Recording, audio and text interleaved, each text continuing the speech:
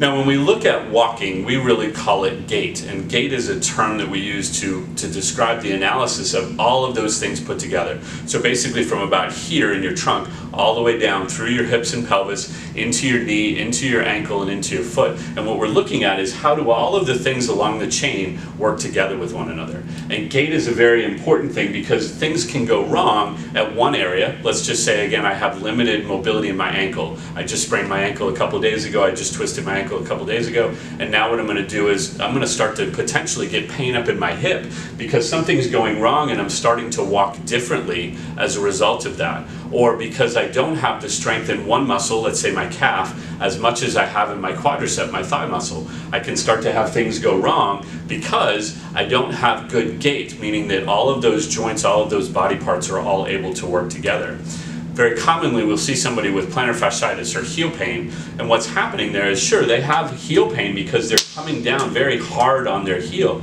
but that's not usually the true cause of it. The true cause of it is usually something up in the hip. They're usually weak in their glutes. They usually don't have a long enough hamstring length to give them a good stride. So they're coming down with a lot more force on that heel. Yes, it presents as heel pain, as a common problem of plantar fasciitis, but it's actually something that's happening in their gait way further up the chain. And again, that's where an expert physical therapist comes in here at Loudoun Sports Therapy Center is we can take a look at your gait, figure out what's actually causing the problem and giving you and get you on the right track for the right solution. If you're thinking about starting a walking program or you're currently doing a walking program or if you have any problems with walking, whether it's pain, difficulty with walking, I can't walk that long, whatever it might be, that's really where a trained eye comes in. Somebody needs to assess your gait because we've got to look at specific pieces, what's happening at all of those parts of that chain and make sure that things get addressed. Because if you've ever heard the saying, no pain, no gain, or a little bit of pain is okay, any of those statements are completely untrue.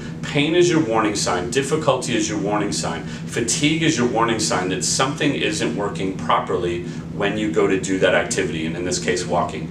And if that continues, that's what leads to things like Achilles tendonitis and Achilles ruptures, plantar fasciitis or heel pain, knee pain or patellofemoral pain, arthritis in your hip, your knee, your back disc problems, um, bursitis, iliotibial band problems, all of those things come from the fact that mechanically your gait is not the way that it should be and one joint is overworking or overstressing another. You really need to keep in mind that problems can be prevented and number two, if you're already having problems when you're walking, again even if it's for 20 feet or for two hours, problems can be treated, addressed, and corrected so that your gait is normal. We get you walking, you're able to use it for a healthy lifestyle, keeping yourself happy and active and doing the things you want to do, but being able to do it without pain and or the possibility of future problems developing.